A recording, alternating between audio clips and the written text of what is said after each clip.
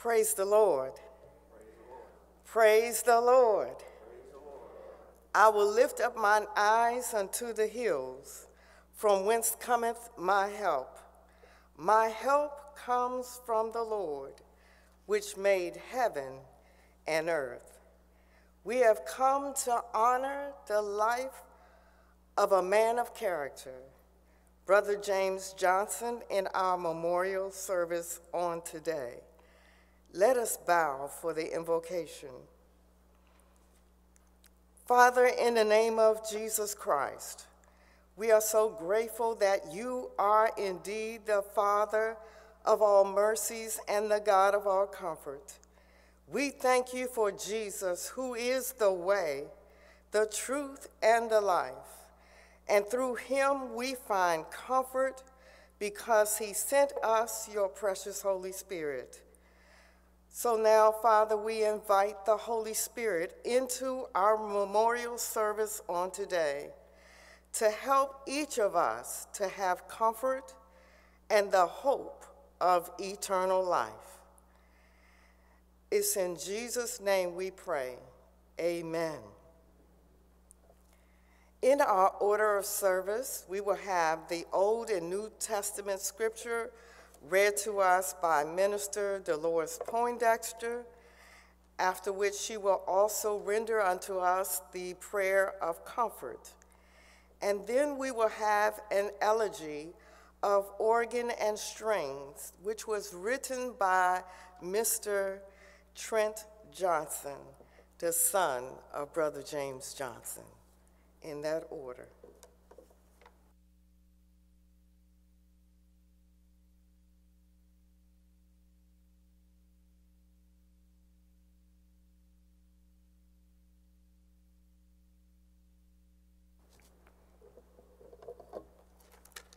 The Old Testament scripture is taken from the book of Psalm 27. That's Psalm 27. The Lord is my light and my salvation. Whom shall I fear? The Lord is the strength of, of my life. Of whom shall I be afraid.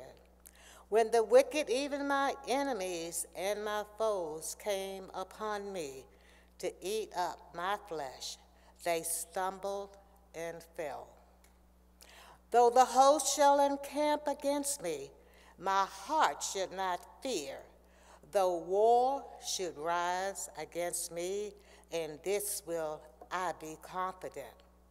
One thing have I desired of the Lord that I will seek after, that I may dwell in the house of the Lord all the days of my life, to behold the beauty of the Lord and to inquire in his temple. For in the time of trouble, he shall hide me in his pavilion, and the secret of his tabernacle shall hide me, and he shall set me upon a rock.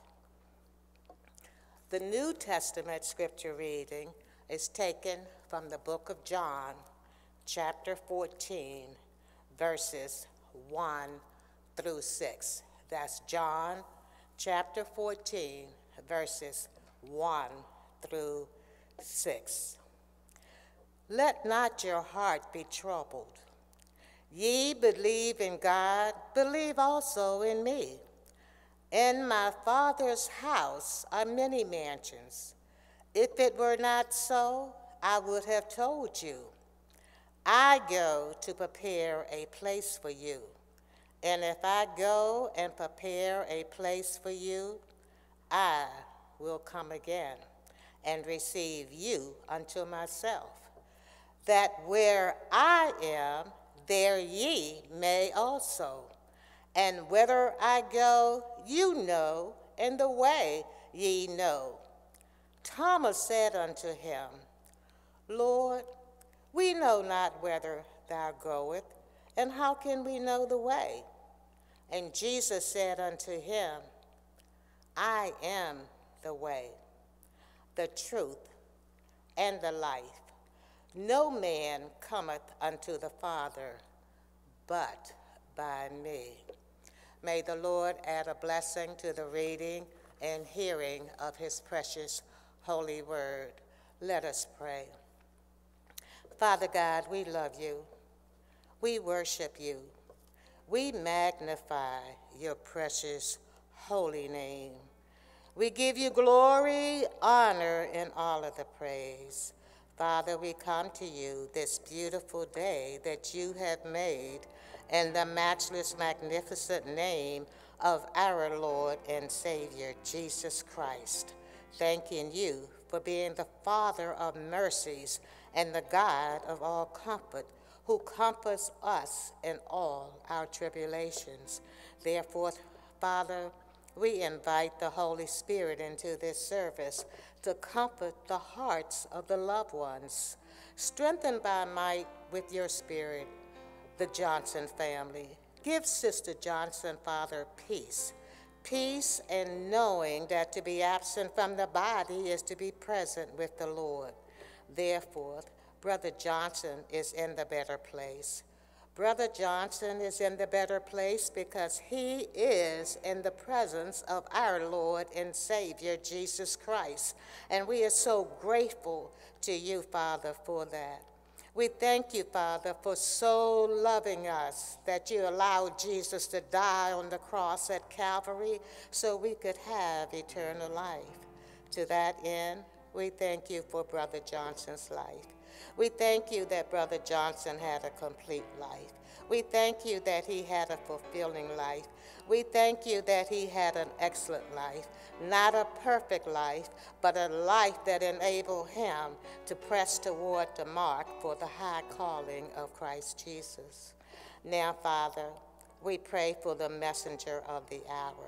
We ask that you lead, guide, and direct Reverend McLaughlin to bring forth your word as you will to the end, that you will be glorified and the family and friends gathered here today will be edified and comforted through the preached word.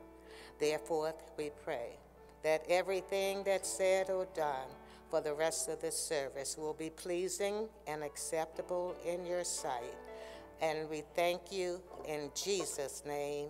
Amen.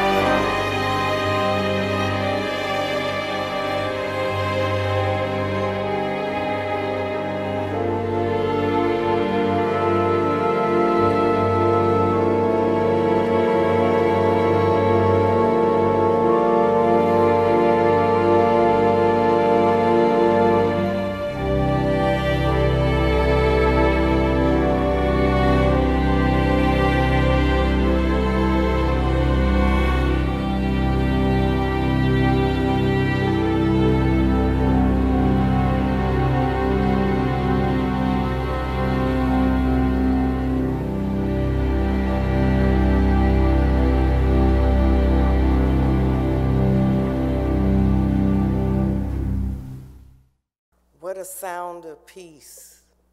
What a sound of comfort. Thank you, Brother Trent Johnson, for that elegy of organ and strings. And we thank God for his presence in this place. Now we will have acknowledgments by the children of Brother Johnson, and we will start in this order. Um, Ms. Nicole Jackson, the daughter, Mr. Trent Johnson, son, and then Brother Kevin Johnson, son, will come forward, and then after which we would have a poem by Miss Trudy McKnight. If you all would come to my left, your right to the podium in that order. Thank you.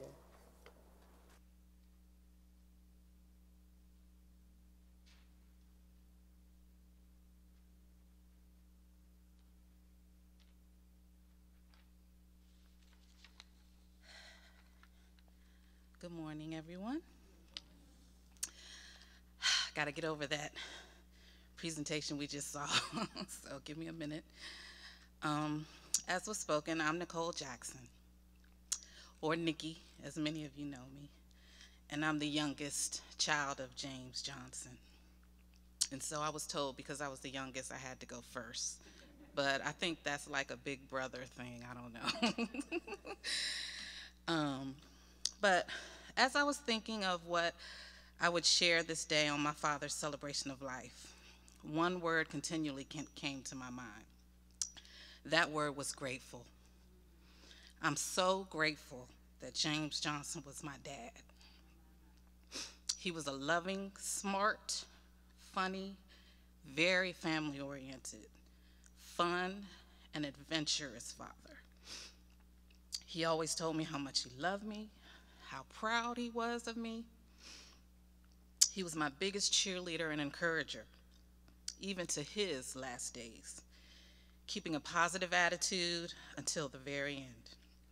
And I'm so glad that I was able to be with him when he passed to try to do the same for him, as was the rest of my family. My dad was very involved in my life as I was growing up. He knew who all my best friends were in the neighborhood, would take me to the mall, to the movies, and even the Kings Dominion. He saw my first and only home run in Little League softball,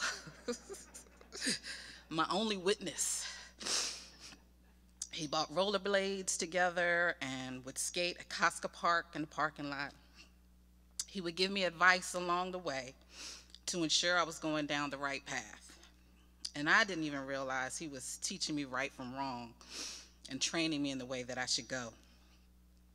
It just felt like I was hanging out with my daddy.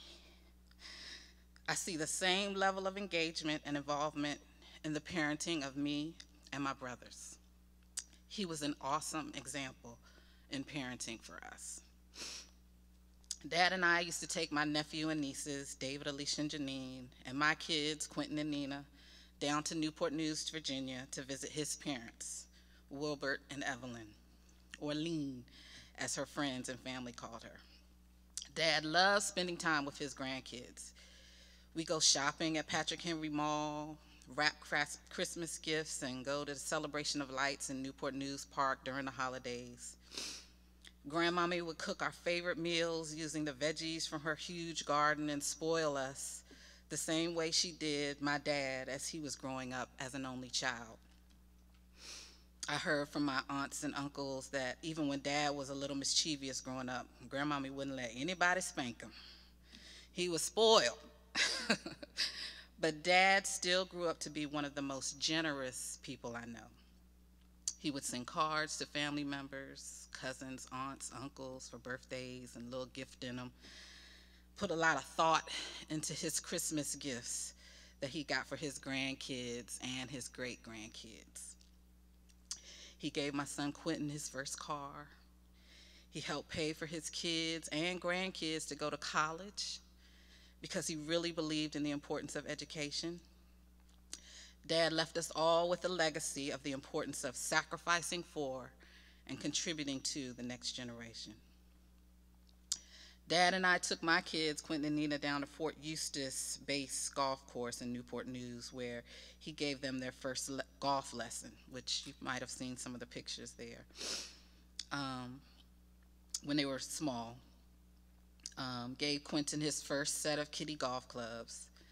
That was such a fun and hilarious day watching Dad wrangle these little toddlers all over the driving range. Dad even taught my husband, Tyrone, how to play golf across the street, Joint Base Andrews. Dad was a patient and enthusiastic teacher, especially when it came to golf. My college roommate and best friend Lisa Simmons and I used to talk about our dads all of the time back when we were in college. Both of us were the youngest in our family and self proclaimed daddy's girls. We used to talk about how much we loved our dads and how well they took care of us growing up and said we would marry men just like that when the time came loving, family oriented, supportive, funny, intelligent. We had the ultimate prototype for what a father should be in our own dads. I'm incredibly thankful for my daddy, James Johnson. I'm sad because I miss him tremendously already, but I'm grateful to God for the blessing of a loving father that he was. Love you forever, Daddy. Nikki. Good morning. First of all, I'd like to thank you all for being here to celebrate the life of my father, James Johnson. Uh, my name is Trent Johnson. I am the middle child, the second born, and this is my wife, Nicole, who has uh, joined me up here. Uh, in my comments that I'm about to make, I'd just like you to know that many of the things that I will say about my father are also true of my mother, Alice Johnson, who is here present as well. Thank you, Dad. Thank you for being a good and responsible father to all of your children. Thank you for teaching me what it is to be a person of good character. Thank you for teaching me to treat all people with respect and to get along with others. Thank you for teaching me to be a reasonable person. Thank you for teaching me what it is to be a loving and caring person. Thank you for sharing your wonderful sense of humor and fun. Thank you for all of those delicious Saturday morning breakfasts that I had as a child. Thank you for those two wonderful cross country road trips from coast to coast. What an adventure. Thank you for all of those summers in Virginia being with relatives and making new friends. Thank you for taking me to meet the older generation of relatives in Virginia as I began my genealogy research as a teenager. Thank you for buying the World Book Encyclopedia for the family when I was a child. It is through this series of books that my knowledge, understanding, and curiosity of the world around me began to expand beyond my own boundaries. Thank you for teaching me to save money. Thank you for teaching me the value of education. Thank you for showing an interest in my schoolwork and progress. You never hesitated to have a conversation with a teacher if it was warranted. Through your service in the United States Air Force, thank you for introducing me to the greater world and the unique differences between people all over this country and the world. Thank you for driving me to my piano lessons on Saturday mornings all of those years as a child. It was through this introduction to music that my musical life began. Thank you for taking me to my first orchestral concert at the Kennedy Center. Thank you for taking me to hear pianist Vladimir Horowitz at Constitution Hall, a once in a lifetime experience.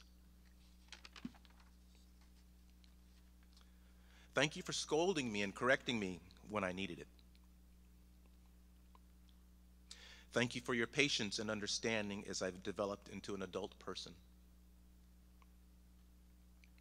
Thank you for believing in me. Thank you for teaching me to be an open minded person and receptive to other points of view. Thank you for giving me the good sense to marry my wife, Nicole.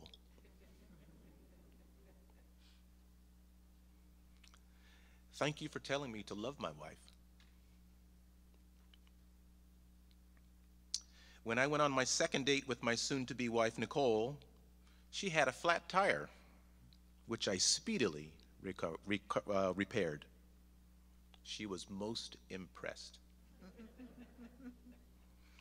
Thank you, Dad, for teaching me the basics of car maintenance.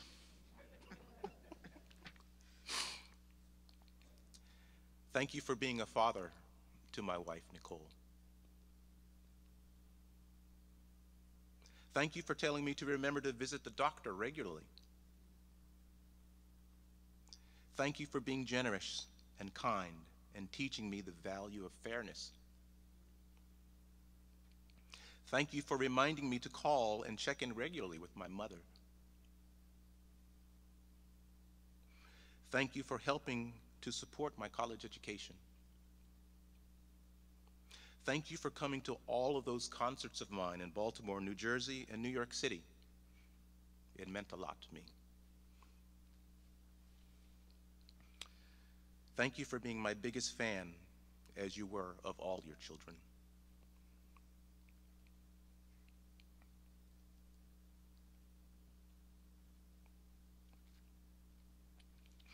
Thank you, Dad, for teaching me all of those values that I carry with me daily, and therefore can impart to my daughter Ava and all I come into contact with throughout my life. Thank you for many, many wonderful memories. Thank you, Dad. Thank you, James Johnson.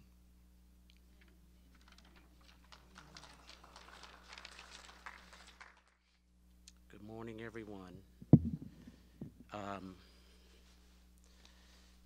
my name is Kevin Johnson, and I happen to be the oldest. I was the one that was supposed to set an example.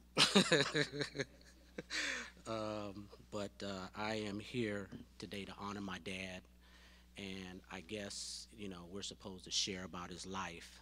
And that's what uh, we're doing here, and I'm just so thankful for my dad. And he was a good guy. I mean, he was really a good man. Um, so I just want to kind of start out and just say that I may not be as eloquent um, as my brother and my sister were. You know, I'm, a, you know, I'm just going to speak from my heart uh, regarding my dad. Um, and when I think back of my father and who he was, the first thing I can think of that came to mind was that dad was a giver. Uh, all my life, I can remember uh, he just gave to his family uh, in more ways than one may think.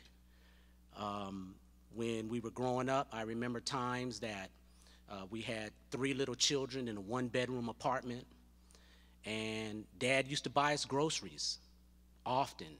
That was back in the days when you can get a shopping cart full of groceries. You remember, some of y'all might remember when you could go to the grocery store and the, and the whole shopping cart used to be full for about $100. You know, nowadays you can't even get the, the little seat piece where the, the children sit. That right there is your $100, you know, but dad used to bring us grocery cart load of groceries often. A lot of times it was around Thanksgiving time, the holidays, and it was really a blessing to us as a young family growing up. And he did it out of the kindness of his heart. He didn't, we didn't ask him to. It was just something that he did because he loved his family. And I could think about uh, times when I think about dad in his cars. You know, he, he used to always bless his family with the cars when he was always getting ready to buy a new one. And um, I can't remember a time where he even traded a car in. As far as I can remember, uh, all of his cars, he just gave them to his family members. We were the recipient of a couple of them. And, and they weren't just shabby, they weren't hoopties. You know, they weren't shabby cars. I mean, they were, you know, luxury Chryslers and Volvos and stuff that he would just be a blessing to his family. And um, so, so yeah, and, and, it, and it's funny because, um, uh, oh, wait a minute, let me get rid of that. I messed up my notes here. I need to be able to see what I'm saying. Uh, yeah, so he used to just um, be a blessing to his family uh, in that way. And even in his passing, he's still being a blessing to people, even now that he's gone. And a lot of times it wasn't just family. I noticed that he was also a blessing to a lot of his friends and things like that. But that was just the kind of person that he was. Uh, my dad was a man of character and integrity. Uh, he was just a good person. I mean, he, he was a law-abiding citizen, uh, paid his taxes, wore seatbelts when seatbelts weren't popular. You know, he was, he was just a good guy, had good character. I remember a time when we were growing up, can't remember, we were living in California at the time. Uh, me and my dad were together, and we found a bag on the ground. It was a brown paper bag, had money in it. And I was like, oh, Dad, this is a bag with money in it. And I remember my dad saying, we got to turn it in. And I remember we drove to the police station and he turned a bag of money. I don't, you know, I was a little guy then. I don't even remember how much money was in the bag. I just remember this, some, this is free money, you know. And we drove to the police station. He turned the money in. And the folks at the police station said that, hey, you know, it's a certain amount of days. If no one claims the money, then it's yours. Uh, I guess evidently someone did uh, eventually claim it because we never got that money back. But but it, as a, as a young man, it just showed me that you know my dad, you know, he was a good guy. You know, because I even think about myself today. I mean, you know, if I find a bag of money on the ground, you know, I'm going to have to check with the Holy Ghost to see if it can I keep this? You know, do I got to turn it in? But you know, the Holy Ghost gonna make me do what my dad did. You know what I mean? I got to turn the money in. But that was the kind of guy he was. You know, he was a guy of great character and integrity. You know, and I just noticed those things about him. Uh, he and I would often talk about work and work ethic and and he would always talk about you know the value of education and trying to better yourselves in everything that you do and he would always tell me when i was growing up that you know it doesn't matter what you do he just said, whatever you do, you just try to be the best at it. He said, if you're going to be a ditch digger, be the best ditch digger. He said, if you're going to be a hamburger flipper, you be the best hamburger flipper. He said, whatever you do in life, you just strive to be the best at it. He was like, don't be a kiss up, because you don't need to be a kiss up, but your work ethic should be able to speak for you. And if it doesn't speak for you, then it's not your loss. But you be the best at what you can be. And I never, I, I held on to that until today. You know, I think about it all the time in everything that I do. You know, I try to make sure that I, I try to be as excellent as I can with what I do. Uh, not, not only because of what God says in His Word, but also from what I got from my father. Dad, he was also, he was also a little stubborn. Uh, you know, he was, he was a guy who's kind of set in his ways from time to time. Uh, once he decided that he made up his mind about something, you know, it was, it was pretty made up, you know, and he was like, you know, I, when I get ready to change that thing about me, I'll change it, you know. And that's just how he was. And I think he got a little bit of it from my grandfather. My grandfather was that way. You know, he was kind of that way. And I don't know, you might have to check with April to see if it rubbed off on me a little bit. I don't know. But, you know, he had that about him. Um, and my dad was an observer. You know, he would observe things, he would observe people. Uh, I remember growing up uh, in the neighborhood, uh, you know, he would kind of observe the friends that I uh, used to hang around. You know, this was BC, so this was before Christ. So I was doing before Christ stuff, okay? And my dad used to, you know, you want to find out about my friends and things like that. And, you know, as a young person, you know, you don't want your parents really to know what you're doing, so you kind of keep it hush hush. And so when my friends used to come around, you know, Dad, he was a great conversator, so he could conversate with just about any on any level. And so he would talk to my friends, and he would start laughing with them. And but he would, then he would throw little stuff in there, like like yeah, and it's really great when you're a little buzzed too, huh? And my friends would be like, yeah, and I'm like, oh no, I'm like, no, don't say that, because see, Dad was he was also probing at the same time you know but that was just that was just his way you know he had a way to conversate with people he had a way to observe people. And um, you know i think about uh, uh, that in the respect too that you know dad he he really wasn't like a, a religious guy so to speak. Um, uh, a lot of it had to do with uh, a lot of bad examples that he saw. Uh, i remember he told me a story about somebody that he grew up with maybe in his late 20s, early 30s. It was a person that he was real close to. And this person that he was real close to said that he had given his life to the Lord. He was going to start ministry. He gave his life to the Lord. And the downside about that is, is that because it wasn't necessarily according to knowledge, and this person went out and tried to start a ministry while forsaking his family, and the short of it all is that his family fell apart, his children went a wayward way, and eventually what he tried to start in ministry never worked out.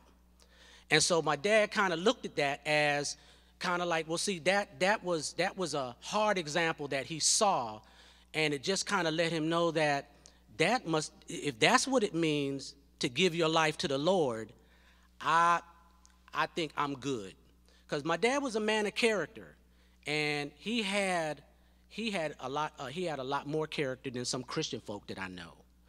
And so when my dad took that position you know he just observed folk. He said i see what they're doing over there mm-hmm. Then he would see what they're doing over there and he was like mm-hmm. And it's like well as a matter of fact you two go to the same church. You go to the same church and y'all go to the same church but y'all are living two different things. I'm seeing two different messages here. So basically he resolved in himself it was like, well, you live your life, and I'm proud of you. And I'll live the life that I'm living. And so that was something that I had always had in my heart about my father that I really wanted him to really have a real relationship with the Lord Jesus Christ. And that was my prayer for the longest time that this is, you know, this is, was my desire, not only for my father, but for my family. And, and not to just have a relationship that, that that you know of God, but you know God through a personal relationship. Talk to Him through prayer and let Him talk to you through His Word. And you develop that personal relationship with God through Jesus Christ. So, we in the hospital uh, a few days before he passed away, it was a Friday, and I talked to Dad about, you know, I felt that, you know, I'm I understand the natural and I see what's going on with the doctors. I hear what they're saying. I see the machines and everything. So I leaned over to dad on Friday and I was like, hey, dad, you know, um, suppose, you know, you don't make it out of here this time, you know? And he kind of took his same position. And I was like, okay, you know, because there's at some point there comes a time where we all have to stop talking. We gotta gotta live something. You know, we gotta live something in front of people. And so, some of y'all know that when things happen on a Friday, God can do some things in two and three days. And my cousin sent me a text message, and he and the text message said, "It ain't over until God says it's over." And I was like, "Wow!" It gave me some encouragement. I was all excited about it. I'm like, "Yes!" And I don't know how my cousin meant it, but I took it as that even though some plant and some water God is the one that gives the increase. And though the, we know that though the body perishes, the inner man can be renewed day by day. And so my prayer was that God, I want, I, I need you to come down. I need you to, uh, I need for my father to be able to encounter you right here in this hospital, some kind of way. I don't know how. You know, I didn't try to think it up because we know that God's thoughts are as far as our thoughts are, as from east is from west. And uh, I know when the family uh, came to the hospital and we had special time with dad and, you know, we would pray with him and There was a moment we were praying with Dad and, and praying in the Spirit, and we were leaning, laying hands on him, and just you know thanking God for his life. And I just want you all to know that my father accepted Jesus Christ right there in that hospital room. And, and I'm so glad about that. Not that I needed to witness it myself, but see, we know that the outer man is going to perish. That's just, we all got to go that way. But the most important thing is that before we check out of here, we need to have a relationship with Jesus Christ. And I'm just so thankful for that because though my father laid down his physical body, he rose in victory. And I thank God for it. Amen. In Jesus' name. Good morning. My name is uh, Trudy McKnight, and I am the cousin, more like sister, of uh, Wanda uh, Johnson. And the last time that I saw Wanda and Jim together was Thanksgiving. Wanda, Jim, and Melissa actually came to our house and had dinner, and we were very blessed to have them there. What I'm about to read you is a poem that reflects Wanda's feeling regarding Jim and his journey. And what I can tell you from my heart is that when you saw them together, you saw love. They both had ailments, they both had illnesses, but what you saw were two people who deeply cared about each other, who tried to take care of each other, and more importantly, who just simply loved each other. This is from Wanda. I'm greatly saddened by the recent death of my dear Jim. He was a wonderful man and devoted husband. Our amazing 11 years of marriage will comfort me in my thoughts forever. Farewell until we meet again. His journey's just begun. Don't think of him as gone away. His journey has just begun. Life holds so many facets. This earth, it's only one. Just think of him as resting from the sorrow and the tears in place of warm and comfort where there are no days and there are no years. Think how he must be wishing that we could know today how nothing but our sadness can really pass away. And think of those whom he touched, for nothing loved is ever lost, and our dear Jim was loved so much. With love, your loving wife, Wanda. And before I take my seat, I'd like to read some representative samplings of cards that have given the family so much comfort. The first, with caring sympathy, in the loss of your husband. Blessed are those who mourn, for they will be comforted. With God, love lives forever. May the compassion of those who care surround you, the memories of shared joy encourage you, and the warmth of God's love just simply embrace you. With sympathy and love, Joyce Summers. The Lord is close to all who call on him. As you walk through this time of loss, may you know that the Lord walks with you and he will comfort you. And this is from Wanda's daughter, Jim's stepdaughter, Hillary, her husband, Ron, and their two uh, children, RJ and Michaela, who you saw in the uh, clips and the photos. Finally, sympathy. Dear Wanda, extending deep and heartfelt sympathy to you and your family. Sorry for your loss. My prayers and blessings are with you and your family during this difficult time. And this is from Jerry Coleman. Thank you all. Truly, we thank God for those remarks uh, from all of the children and uh, from Sister McKnight. We thank God for a man of character, a giving father, a one who left an example for his family and those who knew him to follow. And we are so grateful, Brother Kevin Johnson, that your prayer was answered. He gave his life to Jesus Christ, and now he is in the presence of the Lord, and he is alive and he is well. And we thank God for the tremendous deposit that he has left in this family. I would also like to say on behalf of our pastor, Bishop John A. Cherry II, and his lovely wife, Reverend LaWanda Cherry, the Johnson family from the heart has engrafted you into our hearts.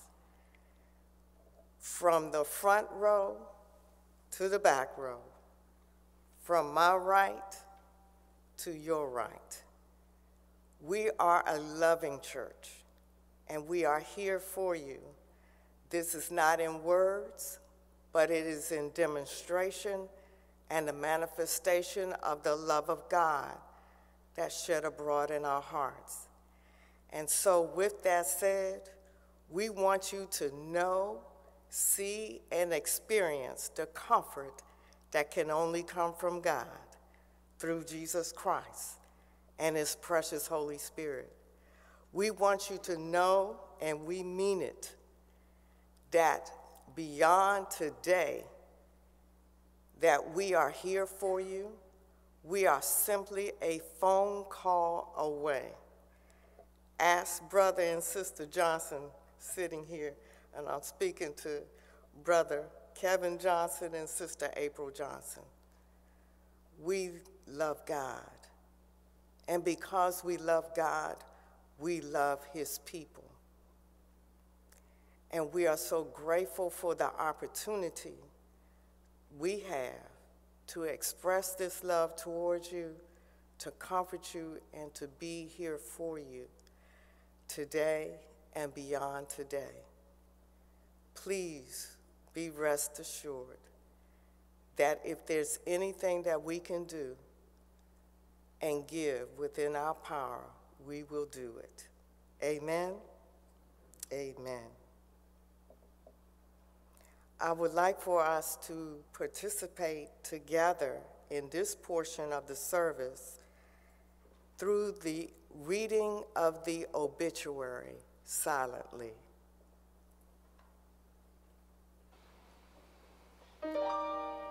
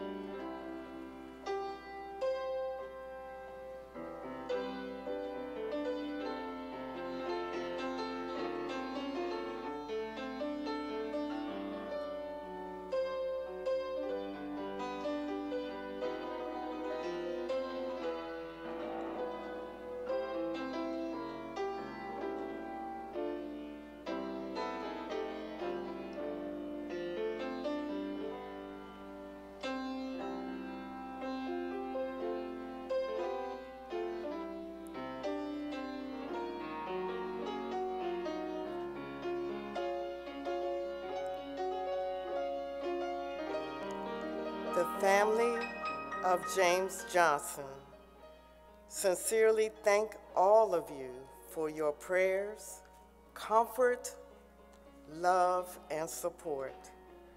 Your many acts of kindness and expressions of sympathy have been a blessing to us. May the Lord Jesus Christ bless and keep you in perfect peace. We ask that you would now prepare your hearts for the song of preparation, which will be ministered to us by our very own psalmist, Sister and Mrs. Robin Coffey, after which we will receive the message of hope, which will be rendered to us by our very own Reverend Walter V. McLaughlin III. Hear ye him.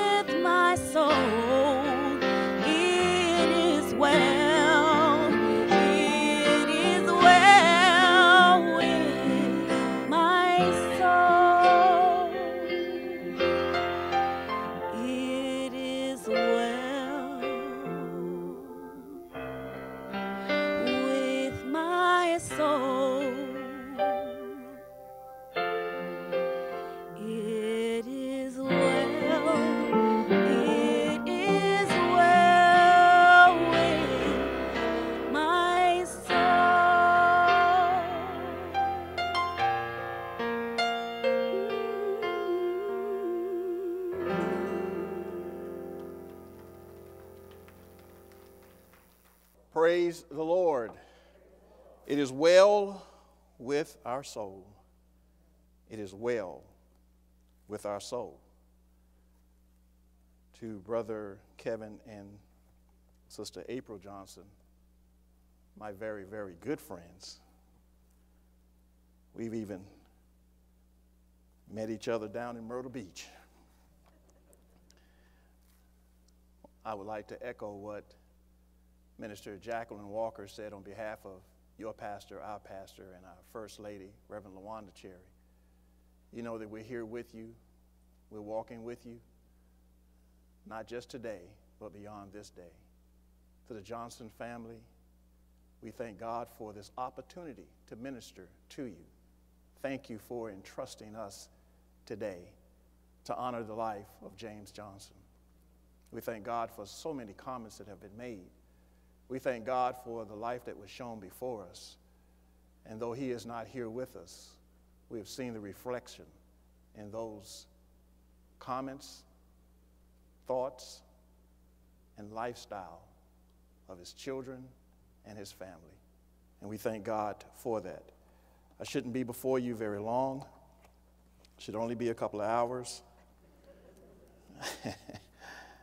won't be before you very long. Um, you know, I do want to say something. Brother Kevin Johnson and I had conversations, and we've had conversations since the passing of his father. And um, I want you to know that, uh, you know, he, he, he may be running from his calling.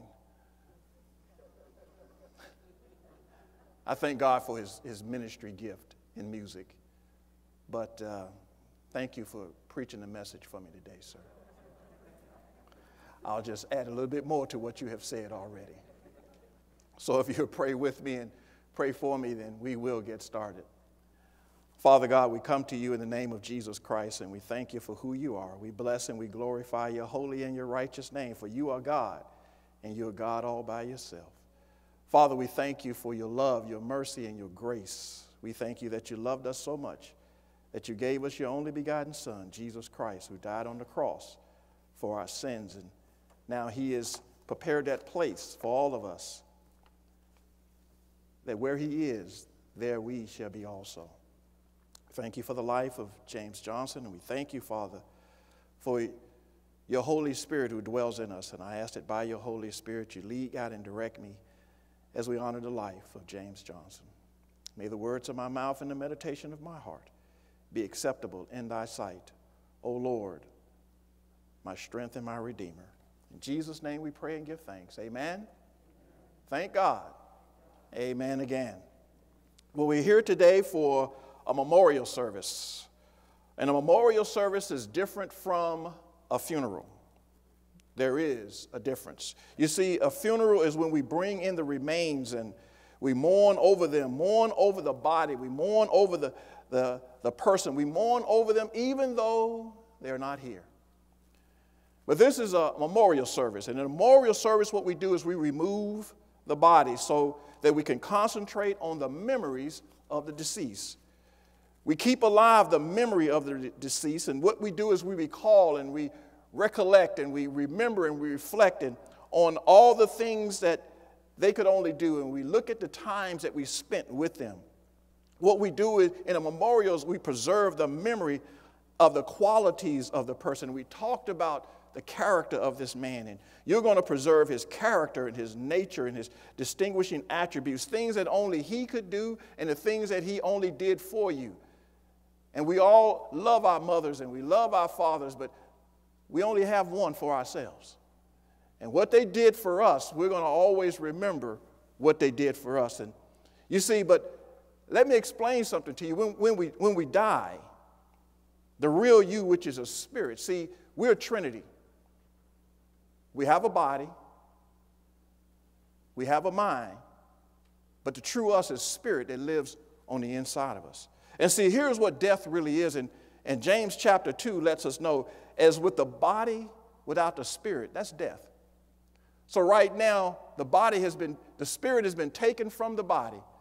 And now we have to remember the person that we're honoring today. But see, death is not a punishment, when you're in the Lord. You see, we don't concentrate on the body because that body can no longer contain the real James Johnson. You see, he's absent from the body, and the Bible lets us know that for we know that if we have an earthly house of a tabernacle of this house, this earthly house, if it were dissolved, we have a building of God not made by hands, eternal in the heavens. And we are confident, I say, and rather to be absent from the body is to be present with the Lord. You see, God created us in His own image, and He created us in His likeness, and He created us to represent Him here in this earth. He created us to show forth His character in our lives. And we're here today to concentrate and to keep alive and to preserve the memories and the qualities of James Johnson. We want to remember those things about his life that only he did for us, that he did for you. You see, we read in the obituary, and we want to remember some things about James Johnson. We want to remember that he served in the United States Air Force. But not only did he just serve, because there are a lot of people who serve. There's some who go in, but they don't stay in. But Brother Johnson stayed in. He got his 20 plus five months. Amen? He stayed in and he retired from the military. He had a distinguishing, a distinguished career where he received numerous medals and numerous commendations. And he was stationed all over the world, as you heard his son say. He was stationed in Florida, and he was stationed in Vietnam. He was stationed in California. He was stationed in Greece. He even worked at the Pentagon. You see, I worked for the Department of Defense years ago, and the one thing I regret is that I never got a chance to go into the Pentagon. What a blessing to have a father who introduced you to culture and introduced you to things in the world. What a blessing to be taken from coast to coast and a blessing to be able to see different things and to have your eyes open to know it's not just about what I see in the mirror, but it's about all of us that we can see throughout this world. What a blessing to have gone from place to place and to remember all those things and how exciting it was. You see, I was just excited when my father took me around the corner. But y'all had an opportunity to see things. What a blessing. We want to remember that even after his military career, that he worked for over 30 years as a federal contractor in the computer science industry. You know, we're getting more and more dependent on computers every day. And we'll never know the work that he did and the things that he did as an analyst that changed our lives. He worked for computer corporations and he worked at, even worked at the NSA up at Fort Meade. We read that he was a compassionate man, a caring man, whose love for his family was most important for him, and it brought him a source of great joy. I know there was a great, a great source of joy because I see it in you, and I remember it in your remarks as you brought forth and honored your father. You know, he, he, we want to remember this, and it, it, it may mean more to me than it does to some of you, but we want to remember that uh, he was a golfer. You see, I, I play golf. Um, I try to play golf. I mean, I'm out there on a golf course chasing the ball. But anyway, but see, it was something great in the obituary that I loved. See, he had two hole in ones. Two hole in ones. Two in his lifetime, in his lifetime of playing golf. And that really stuck with me because I also have two hole in ones in my career. Now, my first one Nobody was around but me. And see, some of y'all getting that. But I did it. And everybody tells me since nobody wasn't around, it didn't count. I said, it does count. I said, this is what I say to them when they say that to me. I said, God saw it. And they shut up. But do you know how rare a hole in one is? The odds are 12,500 to 1. And he had two of them. Tiger Woods has had 20, but you know, we're not going there. we're not going there. These are the memories that we want to remember his character his conduct. We don't want to remember his commitment to his family and to his friends. And I love a line that was printed in the obituary in the very first paragraph, the last sentence, that he was surrounded by those who loved him and those who will commit to honor his memory by living their lives to the fullest. By living their lives to the fullest. And I want to make sure that those who remember him and those who are striving to live their lives to the fullest, I want you to do as he did. I want you to remember that you have to be connected to the source of all life. You can strive to live your life to the fullest, but if you're not connected to the source of all life, it's not going to be a successful life. You see, because the Bible tells us in John chapter 1, verse number 4, it says, In him, that is Jesus Christ, was life, and the life was the life of man. For a few minutes, I just want to preach from this subject. It was presented by his son and I'm going to bring it home to us today. You must be born again. You must be born again. And Brother Johnson, thank you. You said, uh, you know, we hear people say that all the time that I'm born again and I'm a Christian and I know the Lord. Well, let me tell you something, something very interesting. Only Christians can be born again. But let me not get ahead of myself. Now, we know a person by their actions. We know a person by their character. We know a person by the things that they do. But one thing we cannot know and be fully assured of is what's on the inside of a person's heart. Because what's in a person's heart is going to come out in their life. No one knows another person's heart. The key is that we must know our own heart. Each of us has to know our own hearts and that our hearts are right towards God. And the only way we can know our heart is right towards God is we must be born again. And when our heart is right towards God, we do those things to show our heart condition. Those things that were shown in the life of Brother James Johnson, the life that he led for you. What did he do? he did the will of God. He did what God asked him to do. He helped and touched the lives of others. You see, there are not many people who want to get involved in the lives of others. As Brother Johnson, Kevin Johnson, was saying, that his father would talk to his friends to try to get involved. He was trying to probe, but he was concerned about what his family and his children were involved in because he realized and understood that he was going to have to give account for what God gave to him. He gave his children as an inheritance.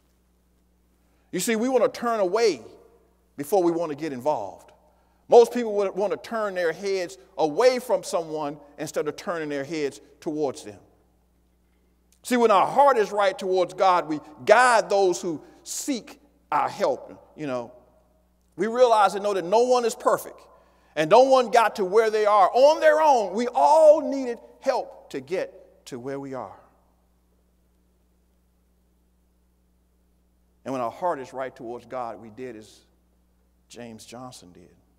We are a father figure to those who don't even have natural children. You know, it's a blessing to have your father be involved in your life.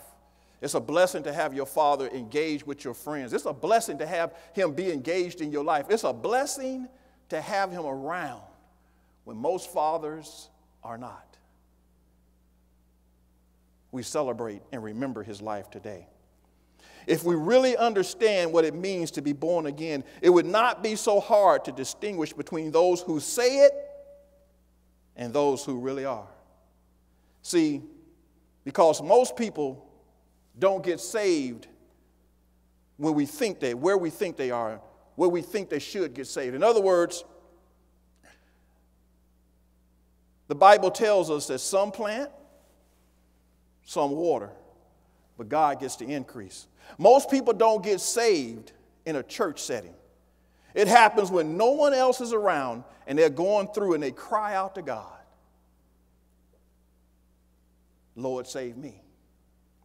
You see, I can think about my own, my very own life. It was not a church setting where I gave my life to the Lord Jesus Christ. I had believed in God all my life. It was in a college dormitory when I gave my life, when I confessed with my mouth.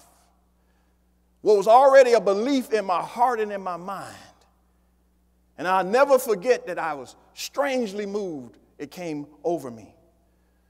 You see, we don't, we want to think that people can only get saved in a church. But see, our life speaks of who God is in our life, and our life is a testimony. And people are drawn to God because of us. You see, and people are drawn to us because we have God on the inside of us. There's a light that God places in us that draws to them. And when they come to us, let's not speak of ourselves. Let's speak of the one who lives on the inside of us. In the book of St. John, chapter 3, a man came to Jesus seeking real answers.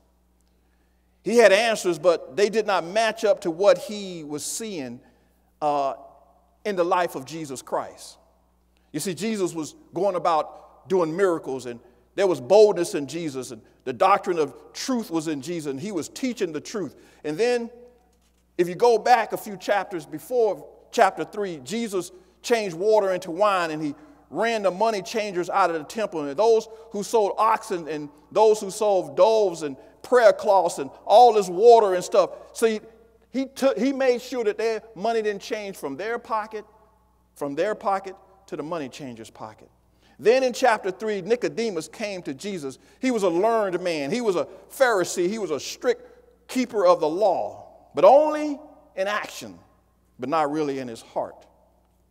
He came to Jesus by night because, see, Nicodemus had a way. But he realized it wasn't the way. And many of us have a way in our lives, but it's not the way. You know, you hear people say, you know, hey, I, I don't think it takes all of that. And I don't think I need to go to church every Sunday. I don't think I need to go to church on Bible study. I don't have to tithe. I don't have to do all those things. I don't have to give God my life. I don't have to work in a ministry. I know God. I got things under control. I got it together. But see, we heard read earlier in John 14, verse 6. Jesus said, I am the way, the way to the Father. I am the truth, and I am the life. No man comes to the Father but by me, except through me. You see, Nicodemus was looking for a way. But Jesus said unto him in verse number three, Jesus answered unto him, Verily, verily, I say unto thee, except a man be born again, he cannot see the kingdom of God. Nicodemus said unto him, How can a man be born again when he is old? Can he enter a second time into his mother's womb and be born? Jesus said, Verily, verily, I say unto you, except a man be born of water and of the Spirit, he cannot enter into the kingdom of God. That which is born of the flesh is flesh, and that which is born of the spirit is spirit. Marvel not that I say unto you, you must be born again. Nicodemus came and he kept going back and forth with Jesus about how can this be? How can this be? Jesus said, Listen, i if I told you earthly things, you, you would cleave to earthly things, but I'm telling you spiritual things. And then he got to the crust of the matter. And we see this sign held up in football games and sports arenas all the time. It says, John 3:16. Jesus said unto him, For God so loved the world that he gave his only begotten Son, that whosoever believeth in him shall, should not perish, but have everlasting life. Jesus said, If you don't accept me, you can't see and you can't enter in. You can't see and you can't be where I am. I'm reminded of what Brother Johnson, Kevin Johnson, said to us. From Friday to Sunday, there was praying. And then he gave his life to Christ. It reminds me of the thief on the cross who was dying with Jesus. He says, Remember me when I come into thy kingdom. Jesus said, This day shall you be with me in paradise. When I say born again, I'm talking about delivered from above. I'm talking about Jesus saving our lives. I'm talking about restoring us into right fellowship with God. It only takes a moment, the twinkling of an eye. It doesn't take a long time. Peter was walking on the water. He started sinking. And he said, Lord, save me. Whew. He reached out his hand brought him back into the boat. God desires all of us to be in the boat. I told someone the other day, I said, I'm so glad that I'm saved. So glad that I know the Lord. If I'm on the boat and if I'm swabbing the deck, I'm glad. You know why? Because I'm not in the ocean. I'm not in the sea. I'm on the boat. Now, I may not be having dinner with the captain, but I'm on the boat. I'm saved. I'm not in the ocean floundering. God's kingdom is his power. Jesus is the Lord of everything. We have to be born again. See, we have to know, we have to have knowledge, we have to understand the lordship of Jesus Christ. We have to enter in and come into him. When God formed man out of the dust, he breathed into us his spirit, and man became a living soul. And then man had the right to fellowship with him. Let me tell you why we have to be born again because Adam sinned in the garden, and sin entered the world. And it separated us from God. But God sent his only begotten Son, Jesus Christ, to die on the cross, to cleanse us from all sins, so that we could be restored to right fellowship with the Father so that we could have a relationship with him. And now Jesus is sitting at the right hand of the Father and he's making intercession for us. And now, when we call out to an Almighty God, when we are saved, God looks through His Son. His blood washes us, and He hears us when we pray. You see, you want to cherish His life, you have to remember what Jesus said in John 10 10. He says, I am the door. By me, if any man enter in, he shall be saved, and shall not, and shall go in and out and find good pasture. The thief cometh not but to steal, to kill, and to destroy. He says, But I come that you may have life, and that you may have it more abundantly. I am the good shepherd. The good shepherd giveth his life for the sheep. You see, unless we are born again, we cannot receive the power of God to do His will. We cannot have everlasting life with Him. We cannot see our loved ones again. And by the comments that were made today, I know that you want to see your father, your husband, your friend in eternity. So you say, Preacher, how can I be born again? John 3:16. God so loved the world that he gave his only begotten son that whosoever believeth in him shall not perish but have everlasting life. We have to trust in, we have to cling to, we have to cling to the salvation that only comes through Jesus Christ. How do you get saved? Romans 10 9 says that if thou would confess with thy mouth the Lord Jesus Christ and believe in thy heart that God raised him from the dead, thou shalt be saved. For with the heart man believeth unto righteousness, but with the mouth confession is made unto salvation. Church, family, we must be born again. We must be born from above. But let me tell all of us a truth. All of us are going to live forever. I mentioned earlier, and I'll mention it to you again because the real us is a spirit. The spirit came from God. I read to you, God breathed into our mouths, into our nostrils and we became a living soul. That spirit, the real you.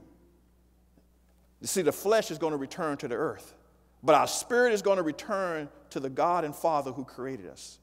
Because Hebrews 9:27 lets us know it's appointed unto every man once to die. But after that comes the judgment. And see, because we're going to live forever, God's going to welcome, Jesus is going to welcome all of us. He's going to welcome all of us. You see, He's going to give all of us a greeting. There's going to be a reception for all of us. But not all of us are going to stay on the boat. In heaven, Jesus is going to welcome everybody, but not all of us are going to be able to stay. Jesus is going to welcome everybody with two greetings. And because of what Brother James Johnson believed, he confessed with his mouth. He, and now he hears Jesus saying this to him Well done, thy good and faithful servant. Thou hast been faithful over a few things. I will make thee ruler over many. Enter into the joy of the Lord. But unless we have done what Brother James Johnson did, accept Jesus Christ, we may hear this welcome, and it's really going to be an unwelcoming. Depart from me, ye worker of iniquity. I never knew you. But let me bring a, as I bring a conclusion to this message, I want to let you know Nicodemus came looking for answers. Jesus said, You must be born again. And so let me give you the end of Nicodemus' life. And his encounter with Jesus. In, chapter, in John chapter 7, Nicodemus sought to defend Jesus after all the men that the chief priests and Pharisees sent to bring Jesus back. Nicodemus says, Do it not our law judge a man before we hear him and know what he doeth? Do we judge a man before we know? See, Nicodemus was part of the Pharisees. But then, truly, because he believed, and truly because he loved God, the end of Nicodemus' life really comes in John 19. After Jesus was crucified, in verse number 38 in John 19, it says, And after Joseph, being a disciple of Jesus, but secretly for fear of the Jews, besought Pilate that he might take away the body of Jesus. And Pilate gave him leave. He came, therefore, and took the body of Christ. And there also came Nicodemus, which at the first came to Jesus by night, and brought a mixture of myrrh, aloe, and a hundred pound weight. And they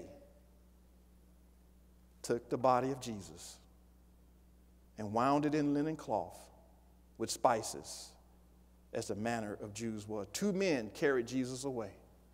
One of them was who came to Jesus by night seeking answers, hearing Jesus say, You must be born again. Family and friends, it's never too late to give your life to the Lord Jesus Christ. If you're going to strive to remember his life, if you're going to strive to live your life in honor of his life, if you're going to strive to do as he did, then do as he did. Accept Jesus Christ. So when it comes our time, there be joy, unspeakable joy of our family, because we know that our loved one is absent from the body and present with the Lord. Today, make your heart right towards God by accepting Jesus Christ. You must be born again. If you would just for a moment bow your heads, I want to make sure that no one leaves this place without a saving knowledge of the Lord Jesus Christ. As we come to honor the life of James Johnson, don't dishonor his life by not following his example. If you're here today and you know you have never accepted Jesus Christ as your Lord and Savior, if you're watching here today, if you're watching, I want you to say a simple prayer. And I want you to believe in your heart the words that you say, and you shall be born again. If you know that you need to pray this prayer, repeat these words after me and believe them in your heart. Father, I come to you in the name of Jesus Christ, and I'm sorry for my sins. Create in me a clean heart and renew a right spirit within me. I confess with my mouth. I believe in my heart the Lord Jesus Christ, that you raised him from the dead for my sins. I accept him now as my Lord and as my Savior. Father, fill me with your spirit so that I can do your will, so that others may know through my character that my God is God and that Jesus is Lord. I thank you for it in Jesus' name. Amen. If you pray that prayer and you're with us today, on the way out, please see one of the ministers. There's a booklet that will explain what you just confessed and help you in your walk with the Lord. Everyone, let's give God praise, honor, and glory for His word. Praise, honor, and glory for the life of Brother James Johnson. At this time in our service, we're going to prepare our hearts for military honors. I would ask if everyone would please stand at this time.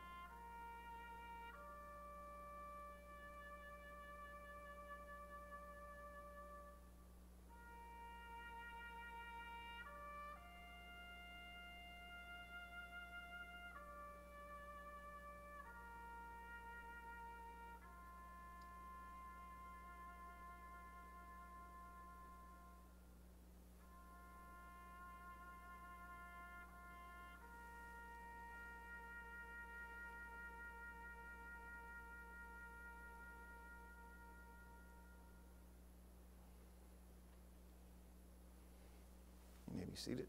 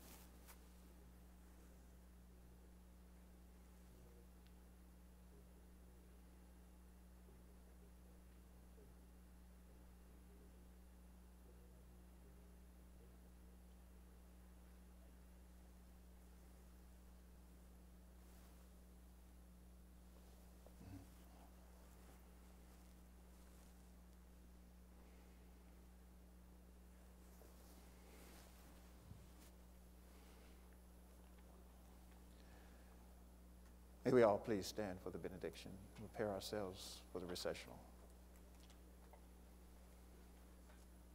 May Almighty God, the Father of our Lord and Savior Jesus Christ, and the power of His Holy Spirit be with you now and forevermore.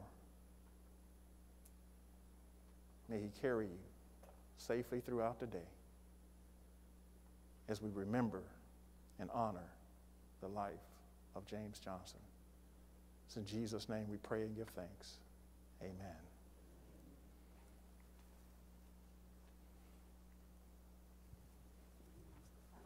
Hmm.